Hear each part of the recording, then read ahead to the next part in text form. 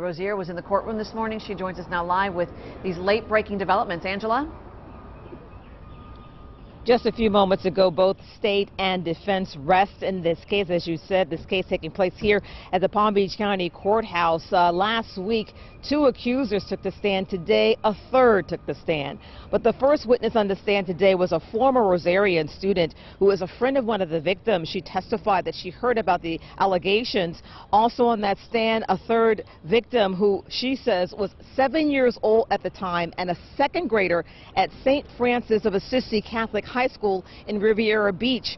She testified that when she was there, he touched her inappropriately. She also testified that she found out about this case from her mother, who um, sent her an email about his arrest. Now, she was asked, why did she come forward now, some 20, uh, 15 years later? She's now 22 years old. Uh, the defense attorney asked her that question. She said that right now that she felt like um, it was an opportunity to do the right thing. Again, the defense attorney asked her if she kept a journal, um, and she she did not. He said that she was relying solely on her memory. Now, again, um, uh, both sides rest today. Budd did not testify here in court. Right now, jury is getting their instructions, and they will start closing arguments after lunch. Reporting live in West Palm Beach, Angela Rozier, WPBF 25 News.